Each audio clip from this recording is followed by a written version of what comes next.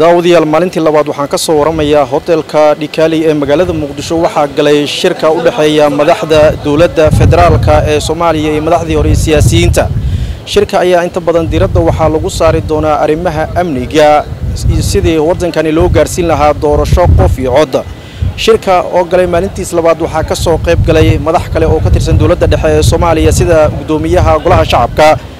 Guddoomiyaha aqalka sare cabdi xaashi cabdulaahi ra'iisul wasaaraha dalka xamse cabdi barre waxaana shirkani shir guddoominaya sida hore idinkugu sheegay madaxweynaha jamhuuriyadda soomaaliya xasan sheekh maxamuud.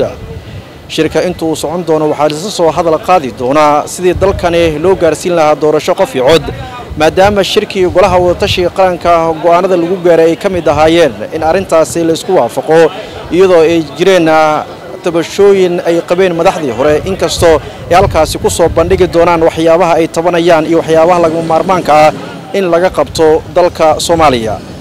Haddaba shirkani waxyaabihii ku soo kordho wararkeena dambe ayaad kala socon doontaan warbaahinta daljir. Cabdiraxmaan waabir oo idinkala soo hadlaya hotelka dhigaali muqdisho